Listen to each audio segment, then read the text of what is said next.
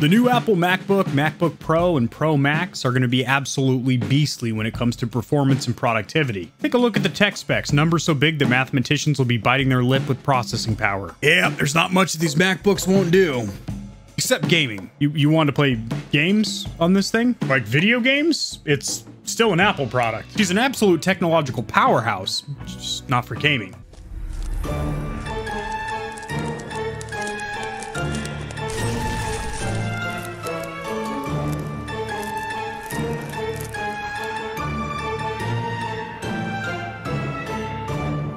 Alrighty, Stallions and Stallionettes, welcome to the Gamer Heaven. I am your host, AK40 Kevin. Sharing my screen over here, I do have an article pulled up. This will be cited or sourced in the description below, as I do anytime I cover any news in the gaming community or industry. Apple has just revealed this brand new redesigned lineup or series of MacBook laptops, and it is still using M1 silicon chips that Apple does make, rather than sourcing Intel or any other third-party chip from external sources. The biggest and most notable changes to performance and day-to-day -day usage would be with that CPU. So what about them tech specs that you mentioned there, Kevin? Well, the M1 Pro and Pro Max have 10-core CPUs or central processing units, with the Pro sporting a 16-core GPU or graphics processing unit, and the Max well, double that, 32. And that GPU is not a separate physical component like you would see in something like a Windows 10 PC build that is actually integrated in the same piece of silicon, the same block of gaming goodness there, which is the M1 series chips, which are basically an SoC or system on a chip. Think of it like the APU in a console. Allow for increased performance and better energy efficiency. And on top of the increased core count, which by the way, those are some good numbers we're seeing here, Apple's new chips also have the benefit of being able to share up to 32 gigabytes on the Pro or 64 gigabytes on the M1 Max of unified memory between its CPU and GPU, something that allows for speedy memory bandwidths of up to 200 gigabytes per second or 400 gigabytes a second on the Max. If you're not acquainted with Mac computers or Apple products, you'll be like, what the hell is unified memory? RAM, random access memory, that's basically what it is. So basically 32 and 64 gigabytes of RAM with speeds of 2 and 400 gigabytes respectively between the Pro and the Max. And this right here is a huge benefit or pro of using an Apple MacBook compared to something like a Windows 10 laptop. Trust me. Apple says the performance of its new MacBook Pros doesn't take a hit when running solely on battery, so you'll get the same blazing performance regardless of where you are. So I recently got my hands on a MacBook Pro over here. I also have some matching savagely overpriced AirPod Maxes over here that have yet to be unboxed and reviewed. So there's some Mac products sitting here in the gamer heaven right now to be unboxed and tested in the near future. I will say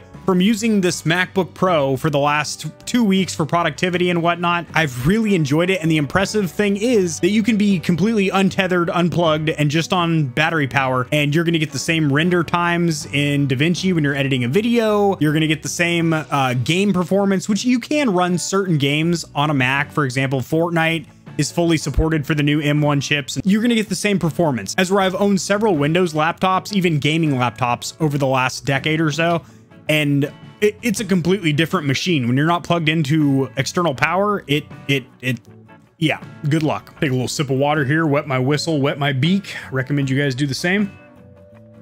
So I'm going to read this paragraph here. There are some astronomically high numbers here. Every time Apple introduces a new series or generation of products, whether it's their phones, whether it's their tablets, whether it's a baked potato with a chip on board, it doesn't matter what it is. It can be a new watch, it can be a new uh, pair of smart glasses. They always have some insanely high numbers of how much quicker or better it is than the previous generation. And I will say they tend to actually make good on those promises, those astronomically high numbers. It kind of just makes it not as surprising or overwhelming when we see these huge upgrade numbers considering it's kind of the norm now for Apple. Like every generation is such a substantial leap over the previous. When compared to the latest 8-core PC laptop chip that is the M1 chip that is currently inside of the MacBook Air and the MacBook Pro, Apple says the M1 Pro provides 1.7 times the CPU performance, so that's almost double, at the same power level while using 70% less power, which by the way, holy mother of God. Currently on the MacBook Air, it's 15 hours of battery life and 17 on the MacBook Pro, although in certain usage scenarios, it'll actually be more than that. It's very, very good. Basically, I've only had to charge this thing, I want to say twice in the two and a half weeks that I've been using it. And the M1 Pro's GPU is up to seven times faster than the same 8-core PC laptop's integrated graphics and delivers more performance using 70% less power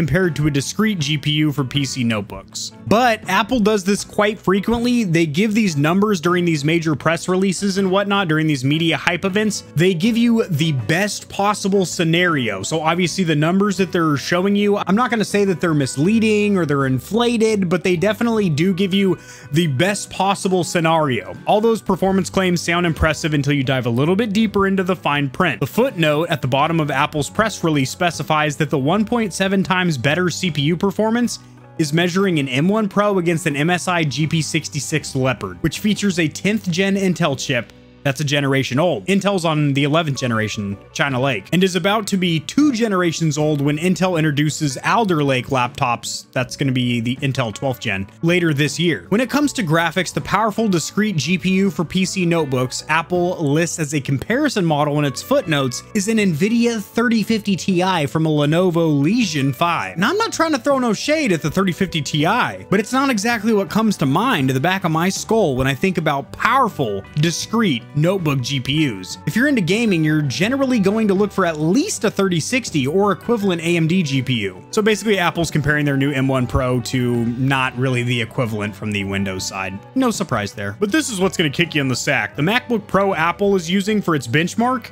is a pre-production 16-inch MacBook Pro with an M1 chip, 16-core GPU, and 32 gigs of RAM, which cost around two kidneys, your kid's college fund, and having your wife work the street corner for a grand, for a grand total of $3,100 compared to the $1,050 for the Lenovo Legion 5 that they're comparing it to. Bananas to oranges here, Apple. They're literally comparing a $1,000 laptop to a $3,000 laptop. It's not even in the same league.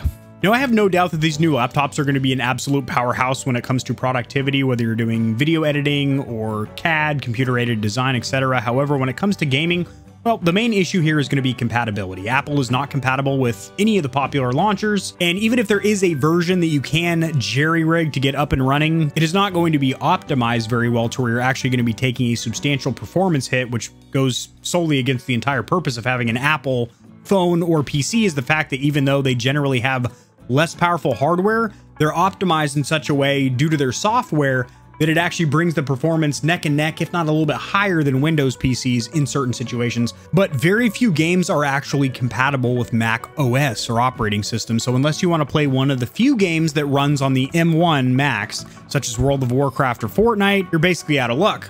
And also, this is very, very important to know as well that Boot Camp doesn't work on M1 Mac, so don't even think about trying to install Windows 10 on a new M1 MacBook Pro. In case you guys don't know what Boot Camp is, it is basically a VM or virtual machine that allows you to run other operating systems such as Linux or Windows 7, Vista, 10, etc on a Mac computer, on an Apple computer. You could run those on the Intel Macs, but you cannot run those on Apple's actual in-house M1 chips. And then down here it says the M1 Pro and M1 Mac Max books. This is a comp this is a hard sentence to get through. The M1 Pro and M1 Max MacBook Pros are machines that may be great for building and developing games, but might not actually be great for playing them due to the OS limitations. Mm, yeah, absolutely. Correct. That is a correct sentence there. Apple PCs, great for productivity. Gaming, no, they're they're not good for gaming. I have a more in-depth video I made about mm, four or five months ago that will be linked in the description below. I do strongly advise you watch that if you haven't heard my thoughts on this topic because I do break down why Apple PCs generally don't work good as gaming rigs. With Apple's new and more powerful silicon, developers may be more willing to create games designed for Mac and Mac OS. Highly doubtful. The journalists over there at Gizmodo kind of got the organization of the sentence incorrect. It needs to be flipped there because it's not the developers that have an issue creating games for Mac. It's Apple that has an issue supporting games on their devices. If you look at the lawsuit between Apple and Epic Games, if you look at the way that Apple doesn't play well with any third party developers, if you look at the way that Apple doesn't like you to take apart their PCs and change out the components, to upgrade the RAM, to change any hardware, then you will clearly see that it is not in Apple's business model or in their liking for you to really install things like Steam Launcher and to play